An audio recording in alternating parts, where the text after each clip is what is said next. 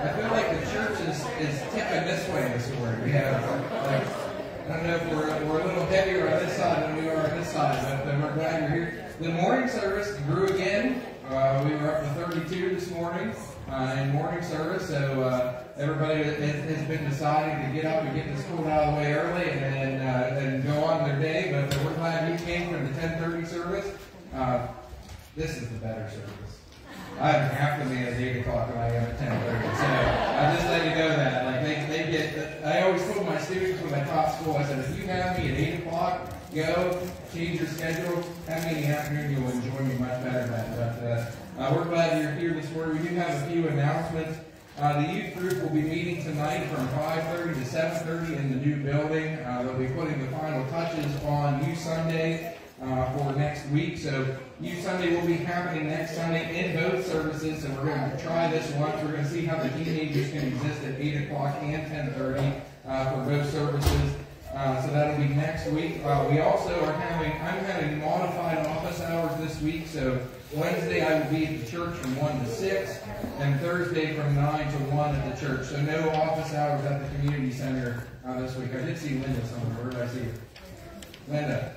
Okay. I will not be at the community center this Tuesday. I have another meeting. All right. So um, the next men's group meeting will be this Thursday at 7 in the new building. Prayer meeting will be tomorrow morning. Uh, also, Wednesday night supper and study continues the Armor of God, session 4 uh, will be this Wednesday at 6 o'clock.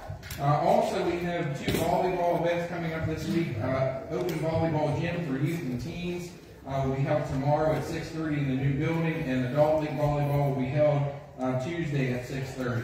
Um, we do have, I have one snow camp paper left this morning, so if anybody wants some information for snow camp, we'll have some more tonight. Um, if you would like to go or interested in going, please see Corey and Mel. They're starting a sign-up list, so we're trying to know how many we have by going on the trip. Uh, also, if you would like to be an adult, uh, Tom Wetley is interested in possibly uh, going as a, a, counselor, I believe. So, uh, if you'd like to go as a counselor in snow camp, uh, they're also signing up counselors as well. Um,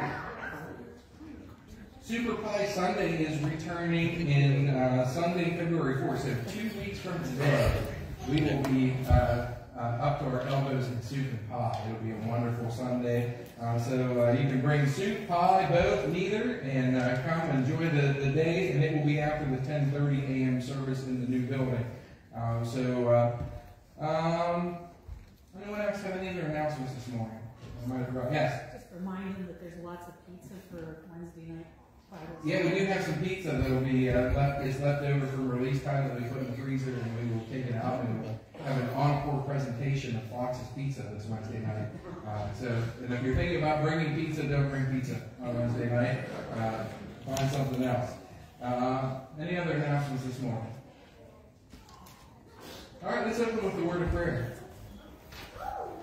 Heavenly Father, we thank you for this day. Lord, we thank you that we are able to gather in your house and just worship you. And Father God, we're so grateful that when we come to, to meet you, you meet us here where we are. And so, Lord, uh, send your Holy Spirit down to, to be here with us and to teach us from your word. And it's in Jesus' name I pray. Amen. All right, I stand and greet someone around you this morning? Let them know you're glad they're here. Yes.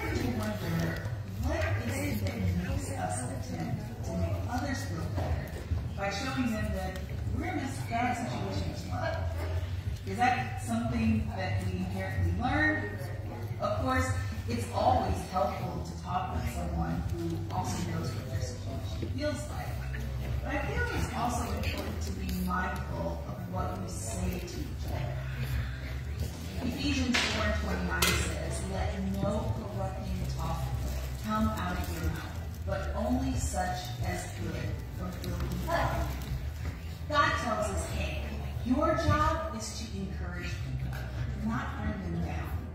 The things you say we should build them up, not break them down. And the Bible is right.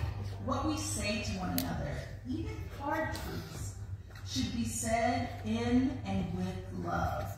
We should be offering joy to lift them up when they're weighed down and should be the life jacket that's going to carry them to their next point. And guess what? Even if you are encouraging them through your own pain, you might find that you're giving yourself the strength you need to make it through your situation as well. I hope that someone finds a reason to lean on you for encouragement. Speak God's word boldly and give them a reason to hope All right, so today, as we're uh, taking a look at how to tame the tongue, we're going to be looking at how we are to be building each other up with our words instead of only tearing them down. And so uh, we're going to be looking at uh, Ephesians chapter 4. But as we, uh, before we go there, uh, let's just lift up the Lord, the Lord with a time of worship. So would you please stand? I'm satisfied.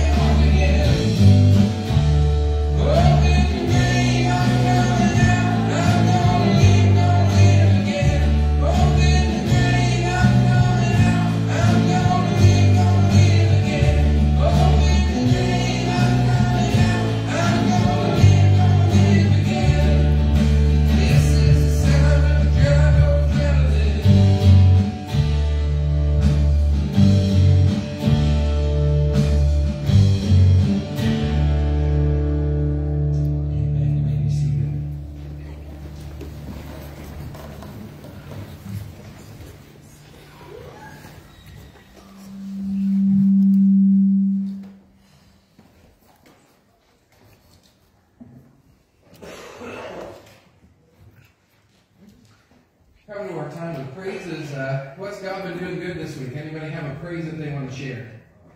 Yes, Michelle. Okay. Her surgery on her hand went well. She only has to look like Michael Jackson there for two more weeks. Okay. One glove. All right.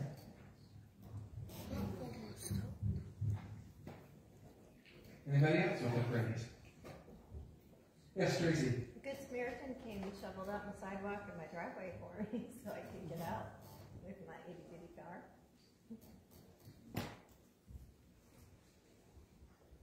Okay.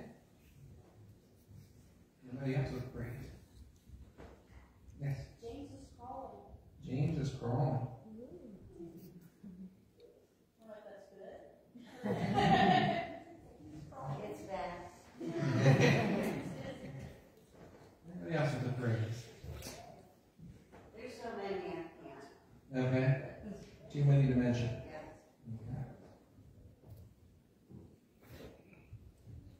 Uh, be in prayer for uh, this morning. Sue Jeffers called. She hasn't been feeling well today, so uh, remember her and uh, Randy Mails with an MRI for his lower back, um, and uh, uh, for Dawn Gunstrom, uh, and for Mandy Mails, and for Sean Connor's dad had a fall and injured his elbow, or any other that have a prayer request this morning. Yes, Kim. My nephew got off probation Friday and disappeared Friday night. Um, he's wandering somewhere, he's in another town, uh, and we don't know where he is, but he's, he's back on our show. Okay. Do I remember Benny? Anybody else with a prayer request? Yes, Tracy. Um, just remember Donovan with his shots that he has every week, um, that he continues to have, to do well, and then he doesn't have any bad reactions to them. And, sorry, also for my knee and my lower back. It's causing me a lot of pain.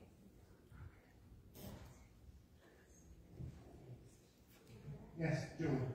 Uh, please keep Gary Weaver in prayer, he's been struggling, um, very against it, um, very well as possible. And also, I'd just like to, uh, just that April in prayer, because you know, my heart is, he's, uh, on such a strict way for what we've been called. Okay. He's been amazing. Okay. Yes.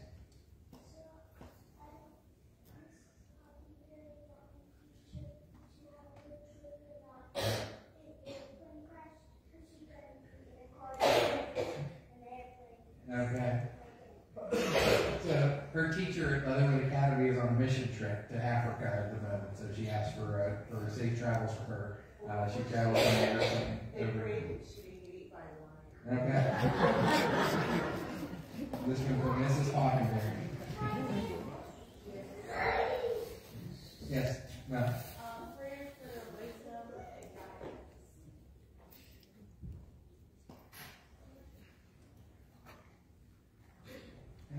Yes, Kim. Also, I, I wasn't gonna say it because it's too early, but, uh, my eye, I can see light here, here, like, up, down, and both sides.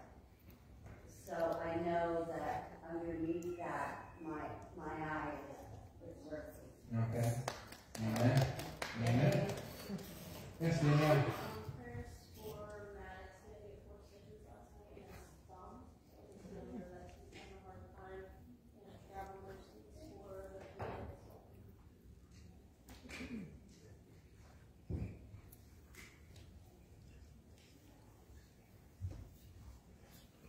Anybody else? Yes. Um, Continued prayers for Alexa McCall.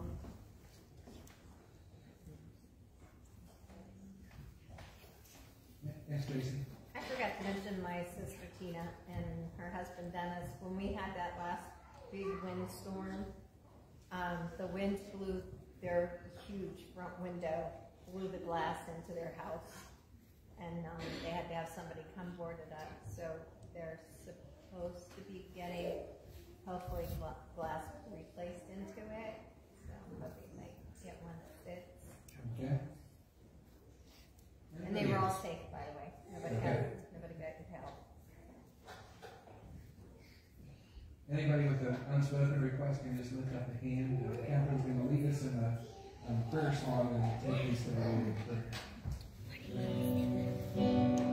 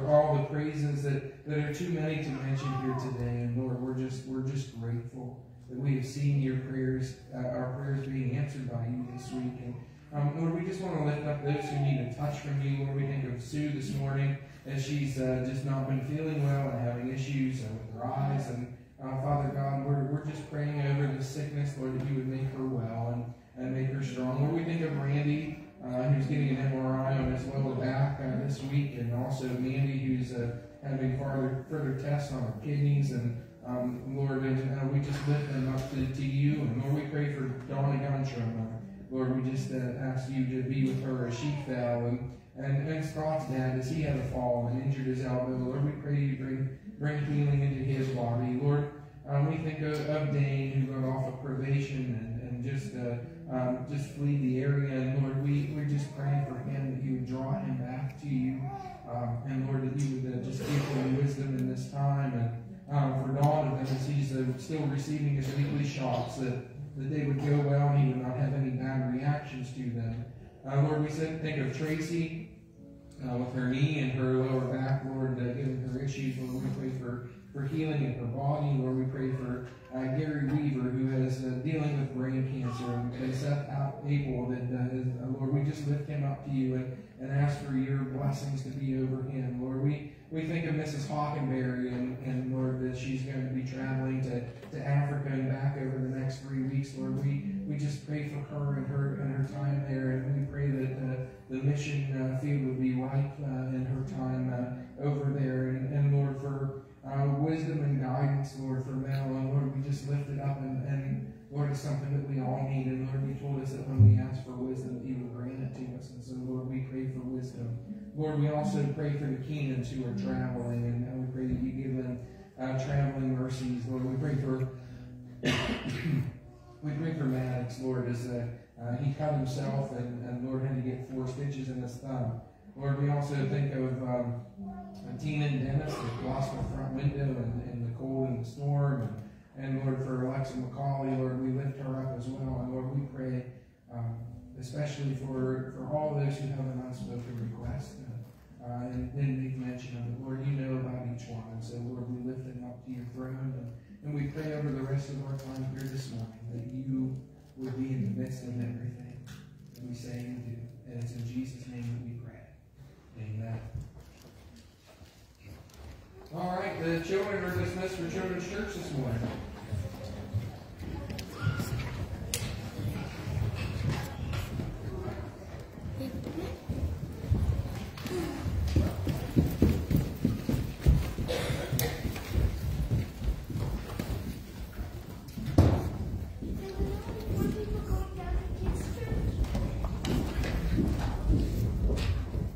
Yeah, out of all gifts that I got for people at Christmas, I was excited about one that I wanted to see uh, what, what it looked like when it arrived because we had ordered it online and it had to be shipped over, shipped over from China, and so it took a while for it to get here.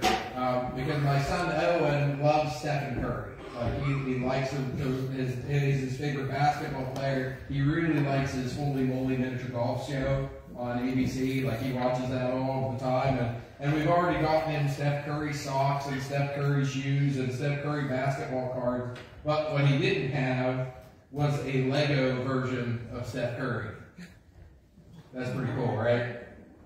Like, uh, I, I'd seen miniature Lego figures of Steph Curry before, but I'd never seen the Lego version of him that you had to build up brick by brick. And so, like, just uh, starting from the base, you have to, to, to put one brick on top of the other, and, and, and before long, you, you, you begin to build a person, and it's standing there looking right back at you. And, and when it came in the mail, I have to admit it was a bit underwhelming because it just came in some random plastic bags and it looked like nothing. It looked like a bunch of royal blue and yellow and white pieces that, that didn't look like that. And in fact, if there wouldn't have been an instruction book showing the building process and telling me that this is what it's going to look like in the end, I wouldn't have believed that. It was just, it was just a bunch of random pieces that couldn't look like that. But in the end, he got to, he gets to build his favorite player from the NBA out of the Legos that he is given to work with. You know, you don't have to be a Lego person to realize that you are built up brick by brick, by the words that people pour into your lives.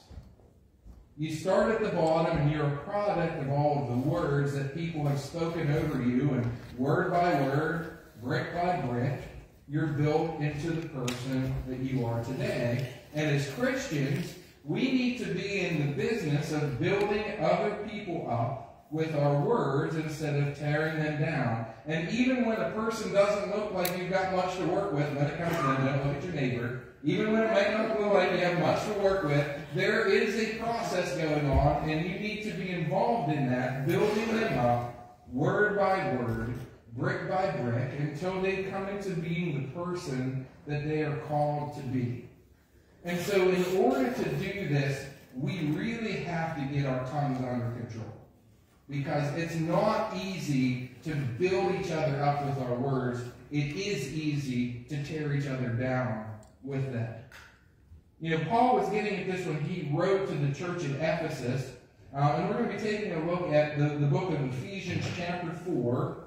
Uh, we're going to start in verse 20 and read through 32. And we're going to, going to pay closer attention to, to what Paul says, especially about the words coming out of our mouth and using them to build people up. So, uh, Ephesians chapter 4, starting in verse 20 and reading through verse 32. And this is what he had to say. He said, That, however, is not the way of life you learned. When you heard about Christ and were taught in him in accordance with the truth that is in Jesus, you were taught, with regard to your former way of life, to put off your old self, which is being corrupted by its deceitful desires, to be made new in the attitude of your minds, and to put on the new self, created to be like God in true righteousness and holiness. Therefore, each of you must put off falsehood and speak truthfully to your neighbor, for we are all members of one body. In your anger, do not sin. Do not let the sun go down while you are still angry, and do not give the devil a foothold. Anyone who has been stealing must steal no longer, but must work doing something useful with their own hands, that they may have something to share with those in need. Do not let any unwholesome talk come out of your mouth, but only what is helpful for building others up according to their needs, that it may benefit those who listen. And do not grieve the Holy Spirit of God with whom you were sealed for the day of redemption. Get rid of all bitterness, rage, and anger, brawling, and slander, along with every form of malice. Be kind and compassionate to one another, forgiving each other, just as in Christ God forgave you. So we are to be building people up with our words. Period. Full stop, period, period. We are to be building people up with our words. And so when our tongues are tamed and are under full control, they will say things that will build other people up and not things that will tear other people down. So what does that kind of speech look like? Paul goes into more detail about it here, but before we go into this any further, let's ask the Lord uh, to bless our time. Scott, would you open us with a word of prayer? Lord, just give thanks for today. Lord, I just thank you for the Holy Spirit communicated, for the cross Pastor Doug, as he brings the word. In your name, amen. So the first thing that I see from this passage of scripture concerning this building each other up, to build each other up, you must speak truthfully to one another. To build each other up, you must speak truthfully to one another. So last week, if you remember, we talked about the, the scripture that, that says out of the heart, out of the overflow of the heart, the mouth speaks. So whatever is in here will come out of here. And so I also, that was from Luke chapter 6, verses 43 through 45, but I also mentioned to you that that's not the only place in Scripture where Jesus had that teaching or a similar teaching. In fact, one of the other places this teaching is found is in Matthew 15, 17 through 19. And I want to read that to you. It says, it says, Don't you see that whatever enters the mouth goes into the stomach and then out of the body, but the things that come out of a person's mouth come from the heart. And these things defile that. For out of the heart come evil thoughts, murder, adultery, sexual immorality, theft, false testimony, and slander. So, this is a list that Jesus gives of the evil things that come out of our heart. And two of these things in particular I want to look at are, are, are things that come out of our mouth. And so, on the same plane as murder and adultery and sexual immorality and theft are two things that come out of our mouth false testimony and slander. So both of these things that come out of our mouth are a form of a lie or they lack the truth. So when we have an evil heart, only the truth, or when we have a clean heart, only the truth will leave our lips. But when we have evil in our hearts, false testimony, lies, and slander come out of our lips. So if we're going to build people up, the first step that we have to take is we have to be committed to speaking truth at all times. Lies that come out of our mouth will never build someone up. That's backed up in our scripture for today in Ephesians 4, starting in just in verse 25, it says this.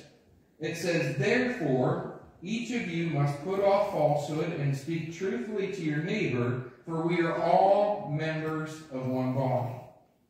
So, if we're going to be building up our brothers and sisters and the people in the church pews and the people we come into contact with, our words cannot be full of lies, slanders, and falsehoods. Instead, they must be the truth and be rooted in truth. Where do lies come from? They come from the father of lies, from the enemy. And they come out of the heart of those who are evil. But the one who is good uses the truth built inside of them to build one another up in love. And so what does this look like? It looks like sharing encouraging scriptures with one another because we always know that the scripture is true. We might not always speak truth, but the scripture always speaks truth. Uh, it comes through tough conversations which you, which you share the truth, but you do it in a loving way so that you're building on the right foundation. It comes as you decide that you're only going to share and talk about things that you know are true and have proven to be true. Well, that's, that's, that's a different way of living, isn't it? And it looks like making truth the only building block that you use to build people up. So I want you to listen very closely. If you want to build someone up, you have to speak truth to them. You'll never be able to build someone up if you're lying to them or if you're speaking falsehoods because they're of the evil one. Truth builds up, lying tears down. That doesn't mean that we get a free pass to beat people over the head with the truth. That does not what that means. But it does mean that we make it a primary, our primary building block is that we speak truth into the lives of those that we come into contact with. So to build each other up, we must speak truthfully. Secondly, to build each other up, we must have our anger under control. We must have our anger under control. So we start building the foundation word by word, brick by brick. We give truth, we give truth, we give truth and love. And but we have to realize there is one condition that, go, that goes on inside of us in which we are not able to build it. So just like if it was raining outside, you wouldn't want to be putting a roof on a building, right? You wouldn't want to be, be working in those conditions and you wouldn't want to have your roof off in the rain. So you wouldn't do that. Or if you were, uh, how many of you have ever carried those long pieces of metal roofing around uh, in the windstorm? Those things are like a kite, man. Like the, wind catches those, and they're like they're they're just dangerous. At so you wouldn't want to be putting metal roof pieces on in the wind, or or carrying 12 feet pieces of drywall around in a storm outside. You wouldn't build in those conditions. And so when we're building into other people's lives, we cannot. We have to recognize we cannot build into their lives if we have anger and it doesn't even matter if the anger is towards them or is towards someone else. We cannot have anger and build one another up. Here's what our scripture tells us. In Ephesians 4, 26 and 27, Paul tells us, In your anger, do not sin. Do not let the sun go down while you are still angry, and do not give the devil a foothold. Anger is not a sin. But anger is a foothold of the devil, according to Paul. And he will always use it for his advantage and for our detriment. What is the solution? Paul's solution is this. Go deal with the anger that you have inside of you before the day ends. Before the sun sets, take care of this. And so I want you to think about any relationship that you have. Is there someone that you are angry with? Paul says you need to drop everything and go take care of that anger because you can't build people up when there is anger inside of your heart. Go make things right between you and the other person. I'm, I'm telling you, this is this is big boy Christianity, big girl Christianity. This is not this is not for the weak or the faint of heart. This is where the rubber meets the road. Go take care of your anger. Because this is absolutely necessary because you can't build anyone up when there is anger flaring up inside of you. If you didn't believe Paul on what you should do with anger, maybe you'll believe James, the brother of Jesus.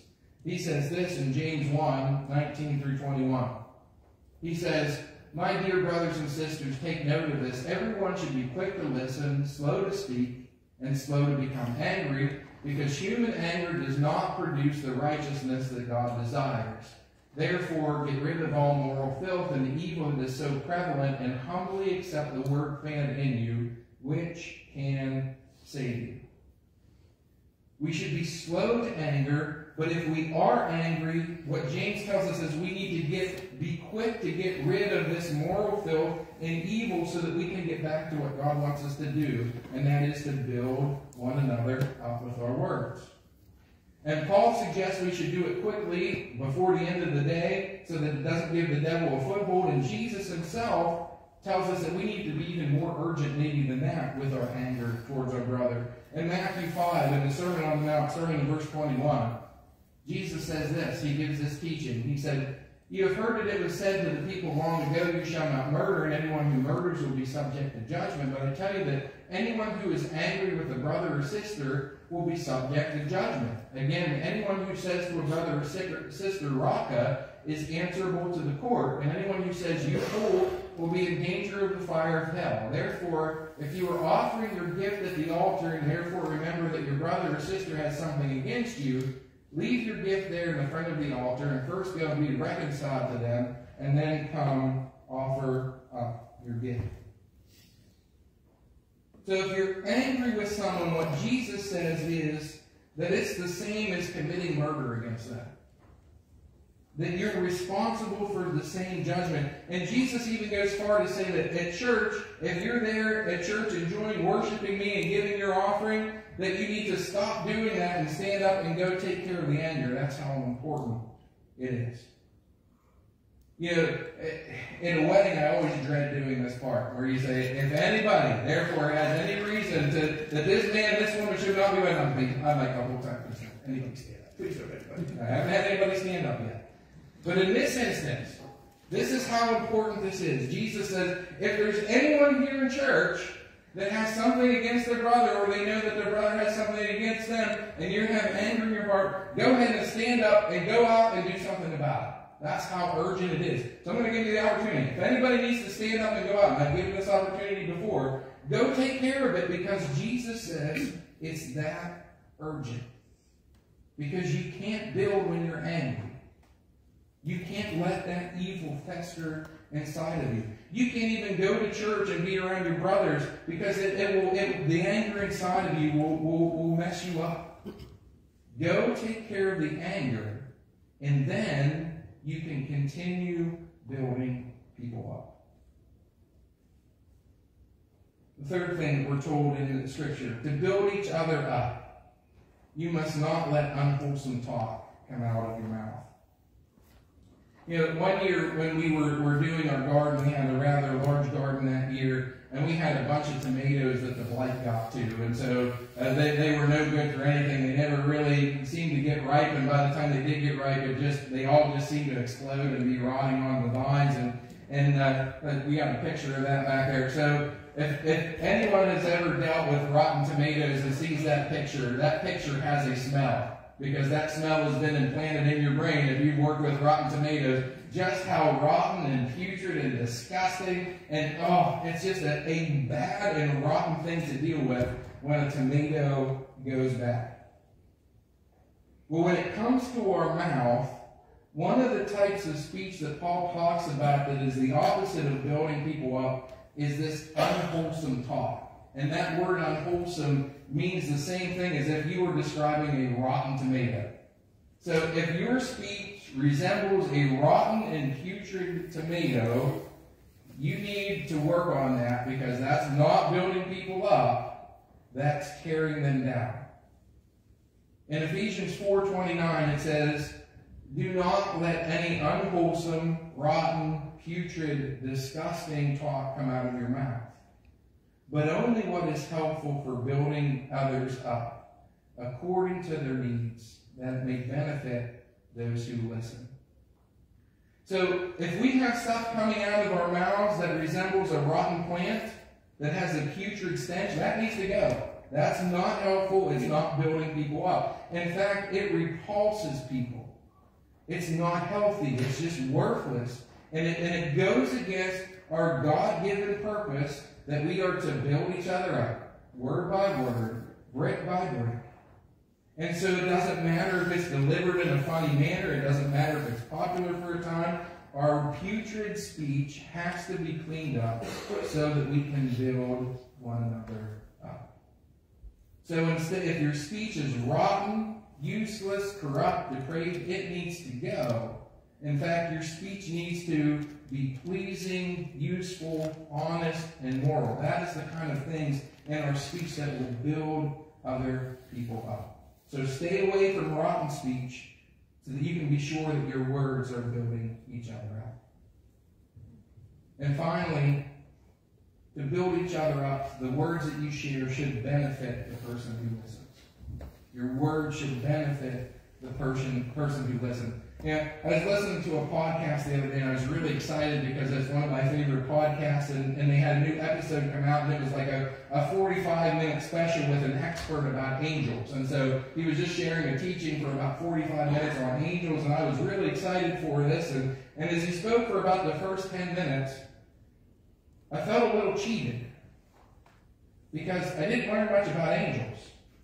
Instead, I learned about how smart this host was. This, this guy who was directed, who was talking about angels, I learned how many degrees he had and what colleges he went to, and I, I learned about how his own theories about these things. And, and, and after I, I got done listening to the podcast, I realized I didn't learn anything about angels. I only learned about him.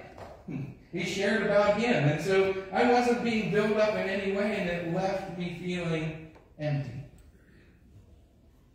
So when we are building other people up with our words, we get past our words needing just to be about us.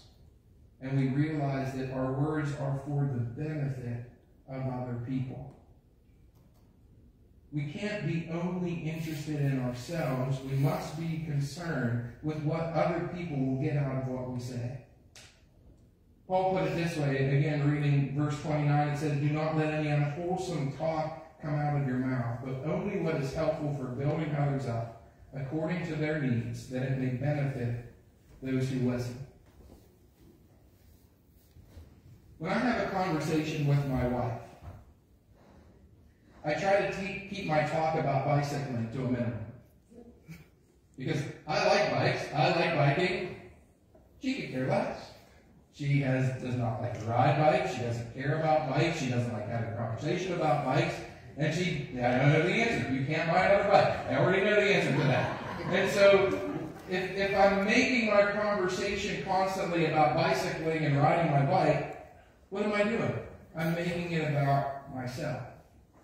And not about what she needs or what she wants to talk about. And so, in our spiritual discussions and conversation, we have to ask ourselves, am I, am I keeping the interest of the other person in mind? Am I, am I looking to their, to, to their interests? To build them up, we need to be sharing words that will benefit them and not necessarily benefit us. In order to do that, I hope that we have beyond a, a, a surface level relationship. We have to have a relationship with them in which we know the things that will benefit. We will know what they like. We will know what they don't like. We will know what they need.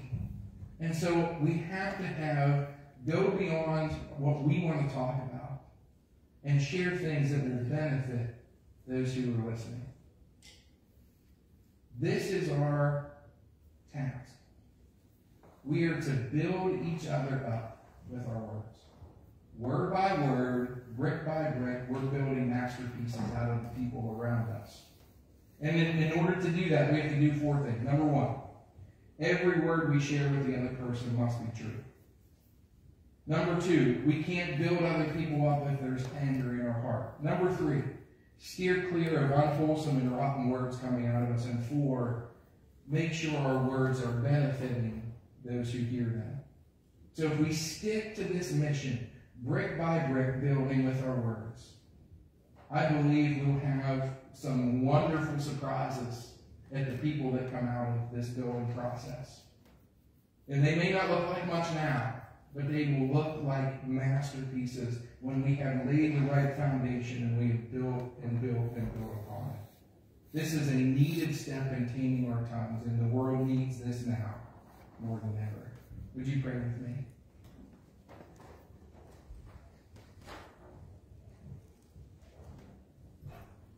Lord, this is the goal.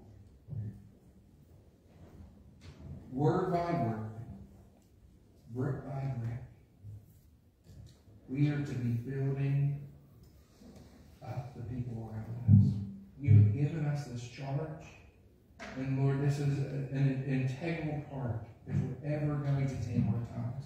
That we only speak things that will build up, and we never speak things that tear down. So, Lord, help us to follow this. Help us to speak truth.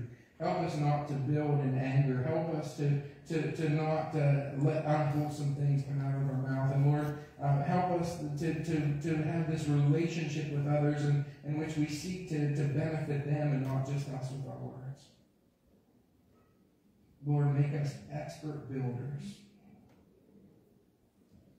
with every word that comes out of our mouth, building into someone's life a positive and wonderful thing. Lord, we thank you and we praise you for your word, and it's in Jesus' name that we pray. Amen. Would you stand as we close with the song? Because this will be a daily battle for us, that this battle belongs